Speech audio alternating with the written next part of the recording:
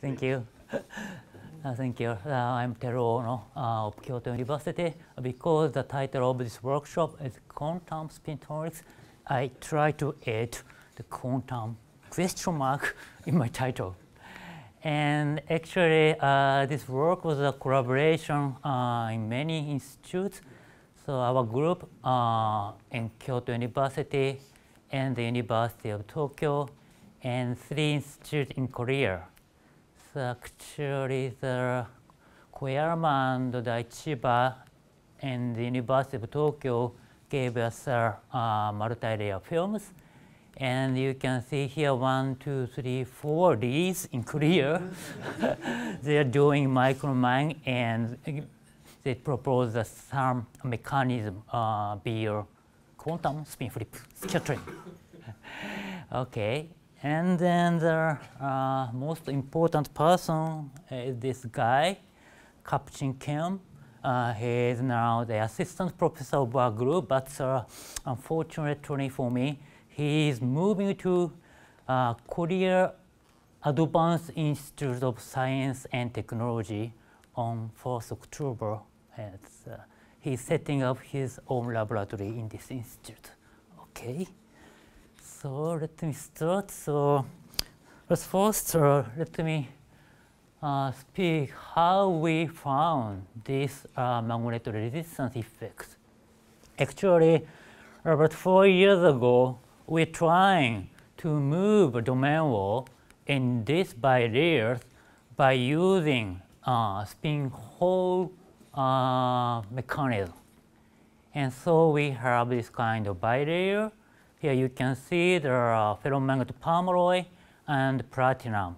So by injecting a current through platinum, we expect spin current flow into the permalloy and give a torque to move a domain wall.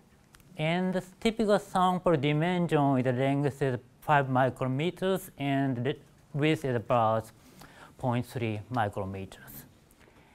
And before doing the domain wall motion experiment, we try to measure how much external field we need to saturate this magnetic material. So we try to measure a magnetic resistance effect. This is just a anisotropic magnetic resistance effect. So from which you can determine uh, magnetic field we need to saturate here. And also, uh, typically we need high current density to push a domain wall. So we try to measure how high current we can inject this sample. So then we measured current density dependence of this MR. And then you see here, by increasing the current, there's a strange effect. So here we have a conventional AMR curve, but if you increase the current, then you see the difference between these baselines, and it increases with increasing the current. And here you see this baseline is now asymmetric, and this resistance change occurs only when the injected spin is anti-parallel to the magnetization of the ferromagnet. And so, so here we have a uh, symmetrical resistance change. So we define this change in the baseline asymmetric MR. And next, I plot this amplitude as a function of inject current density. So here it is. So this is the uh, amplitude of new magnetic resistance is a function of current density. So, so you, here you can see, so this asymmetric MR shows a force linear increase, and at some point, there, should, there shows further increase above threshold current. So what is the mechanism? And then we try to see the material dependence. the here the typical one. So we change our non-magnetic material from platinum to tantalum because this has an opposite spin Hall angle.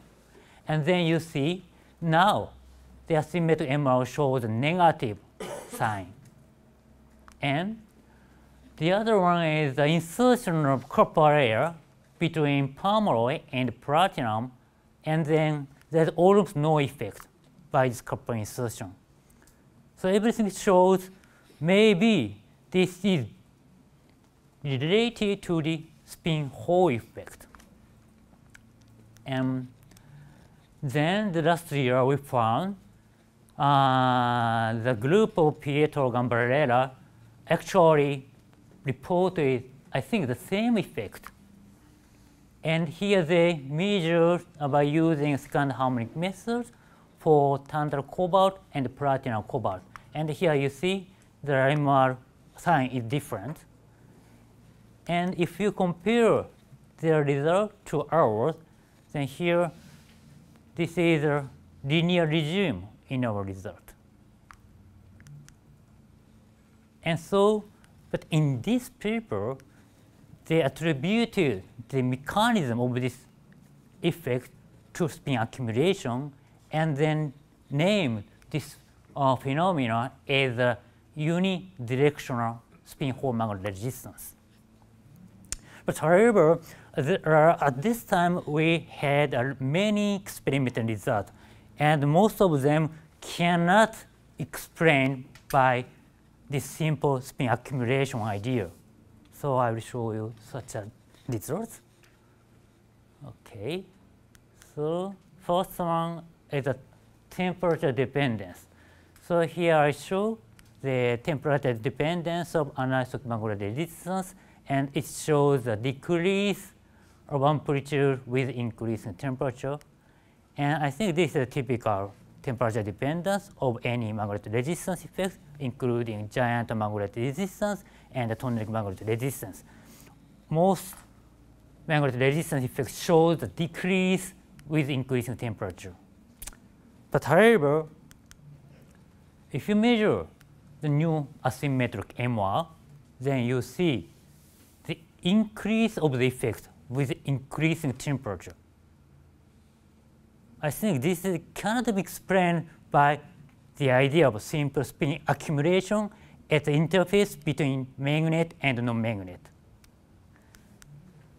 So then, so now we have an increase of the effect with increasing temperature. The first candidate should be magnon scattering. And this actually we have increase of this effect by increasing injection current density. So it means if this is due to the magnon scattering, we can increase the magnon number by injecting a current. So first idea is the magnon which is generated by the spin transfer torque. So we did a simulation by using a conventional spin transfer torque idea. And here again, I show uh, the experimental result as a function of current density. And here I plot the magnon numbers as a function of simulated current density. So here it's just a, a reduction of magnetization by the uh, precession of magnetization. So as you can see here, yes, you have the auto oscillation here. So in other words, this is a, a condensation. And above this threshold, we have auto oscillation, which means we have long range wavelengths uh, magnons. And but if you compare this micron simulation to our experimental result, so maybe we can explain this curve, this increase above threshold. However, based on the idea of spin transfer torque, we could not get such a linear increase at a low current density. So we have to think about more than spin transfer torque induced magnetized oscillation Okay. Then the other experimental result, which cannot be explained by spin accumulation, is the time scale of this magnetic resistance effect. We just measured how much time we need to get this effect by changing the injection current. So here you see, so for example, this is a highest current, so you can see the uh, sudden change in uh, resistance. This is the, the amplitude of asymmetric MR. And you see, so this is time scale. So for lower current, you see the gradual increase of asymmetric MR. And the time scale is very different from maybe 20 or 30 nanoseconds to several nanoseconds. So we plot this typical characteristic time scale as a function of injection current here. Then you see uh, the characteristic time scale is larger, uh, rather long. It's uh, more than several nanoseconds at the special consistency here. It's, uh, you can see that it's about 5 or 10 nanoseconds. It's very long. And furthermore, so it's the experiment observe, observe this time scale show the monotonic decrease with current density, so which cannot be explained by this STT simulation. In this case, you can see that this is a nanosecond regime uh, uh, time scale, but in our experiment, we need uh, more longer 10 or 20 nanoseconds to get this effect. And then, then we check the heating. We just uh, input our output voltage to the oscilloscope. And here you see the sudden increase of output voltage and you see the constant. This is just a Joule heating. So in this one nanosecond region, we got a Joule heating of the sample and heated, uh, uh, heat is, is, is saturated some temperature. So it means heating time scale is less than 1 nanosecond, and which is much smaller than this time scale and more than nanoseconds. Okay. So it means in here the so we can eliminate the thermal effect, if you like, a Nernst effect for this MR. And so here, so we propose a new mechanism by spin flip process. So it's a really simple idea. So by injecting a current, we can uh, have a spin flow perpendicular to this film plane. So it spin hits the permalloy, and then we should have spin flip scattering, which means we should have magnon in permalloy.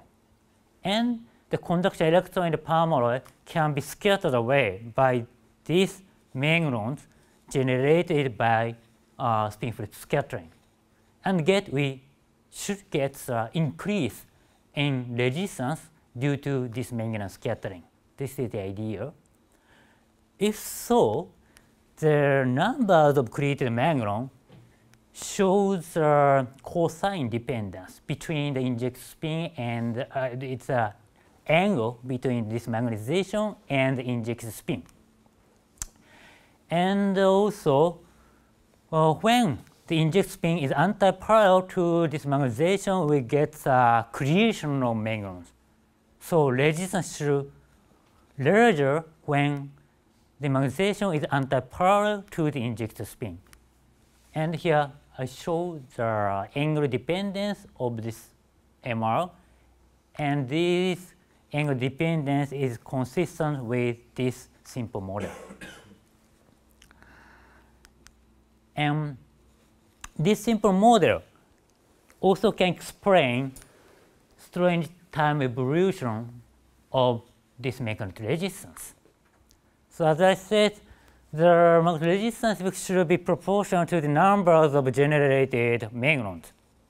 So here large n is the number of magnons, and uh, it should be uh, proportional to the power J2. J is the current density, and uh, tau is the relaxation time of mag uh, magnon lifetime.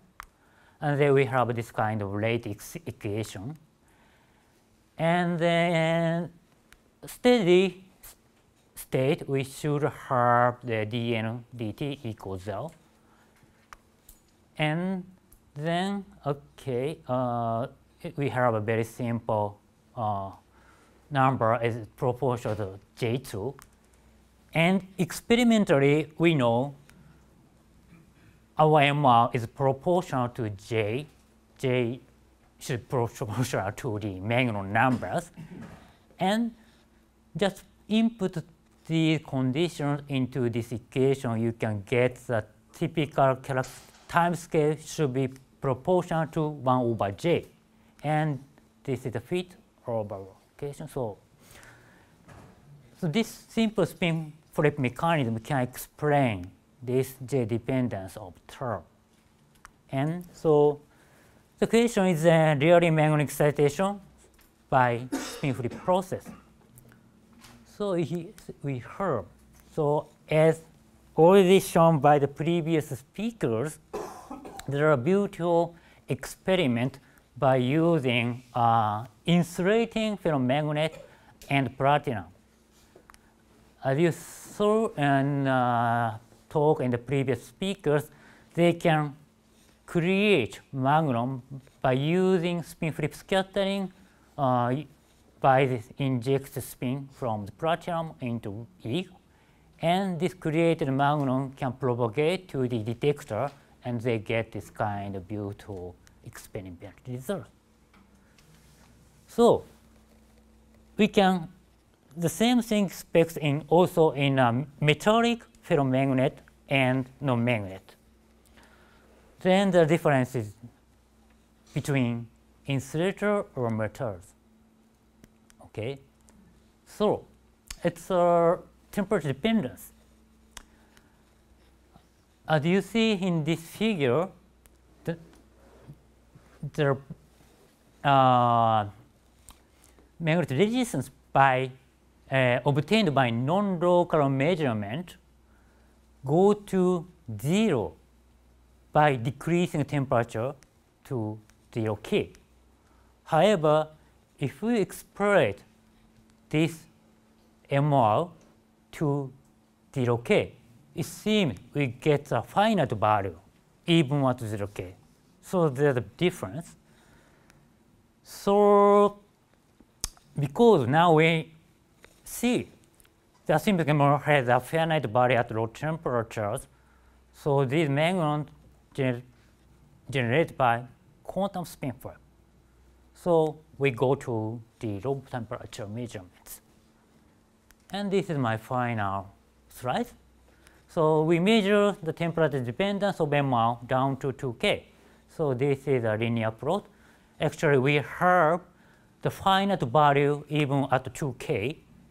And if you magnify this view graph in a logarithm scale, you see some saturation of MR uh, at low temperatures.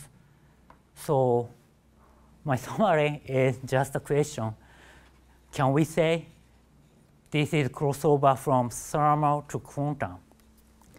And so this is a photograph of my group and uh, nanoscale lab of Kyoto University with this. Oh, thank you very much. This is my summary. We found the DC current induced asymmetric magnetic resistance like this. And we propose a possible mechanism as the magnon scattering, which is generated by spin flip scattering. And we observed situation of the symmetric MR at low temperatures, indicating the existence of quantum spin flow process at the lowest temperatures. Thank you very much. That's all.